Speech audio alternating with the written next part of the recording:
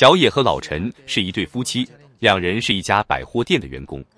小两口平常恩爱有加，但由于老陈的身体原因，两人一直没有孩子。偏偏小野特别喜欢小孩，有时看到同事抱着的小宝宝，他都羡慕不已。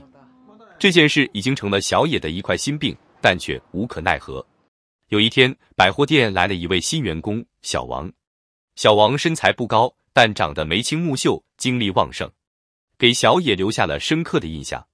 一番内心挣扎后，小野决定向小王求助，想通过小王实现生宝宝的愿望。一天下班后，小野将小王约到家里，将他和老陈的情况向小王和盘托出，并请小王帮忙。听到这样的要求，小王开始很诧异，怀疑小野夫妇是不是想搞仙人跳。经过小野的一番劝说后，小王终于相信这件事情是真的。看着眼前漂亮丰满的小野，小王终于忍不住动起了心思。干柴遇到烈火，两人很快搞了一场运动。没想到的是，小王虽然个头小，但却是运动方面的高手，让小野体会到了从未有过的感觉。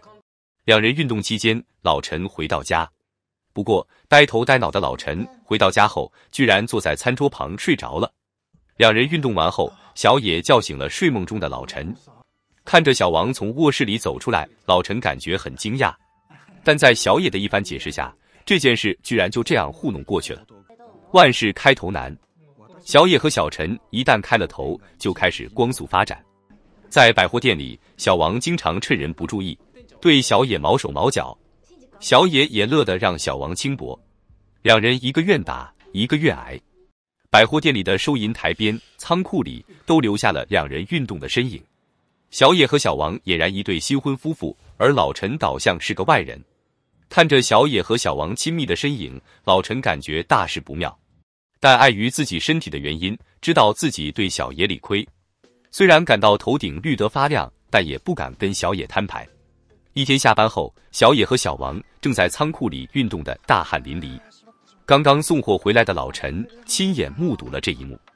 但意外的是，看到如此刺激的场景，老陈居然突破了身体的极限，斗志昂扬。他来不及责怪小野和小王，主动要求加入运动，无奈。